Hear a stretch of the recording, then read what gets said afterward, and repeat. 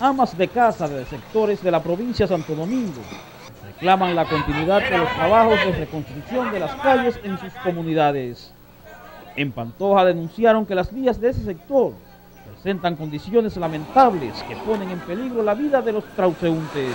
No lo han hecho ni una calle. La mayoría de las calles de Pantoja aquí no sirven. Las aguas negras están enfermando. La calle se pone en sopera de agua aquí que no se puede caminar cuando cae un chin de agua. Y nosotros nada más nos necesitan el 16 de mayo o ahora el 20 de mayo. Yo estoy en esta protesta porque aquí nosotros vivimos como indigentes y somos merecedores de vivir dignamente también. Nosotros queremos que nos arreglen la calle, los policías nos tiraron bombas.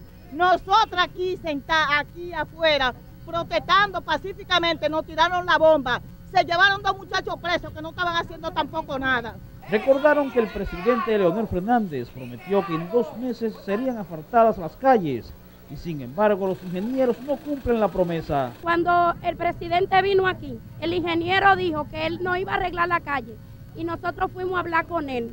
Y él dijo, nosotros vamos, en dos meses, nosotros vamos el jueves a las 10 de la mañana y hoy es viernes, en dos meses y todavía lo estamos esperando.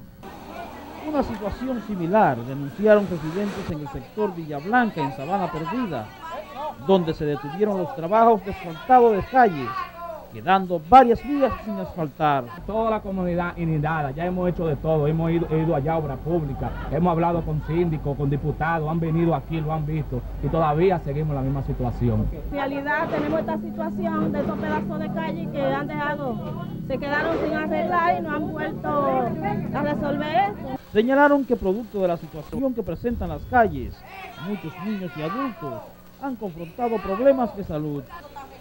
Henry Sagramonte, CDN.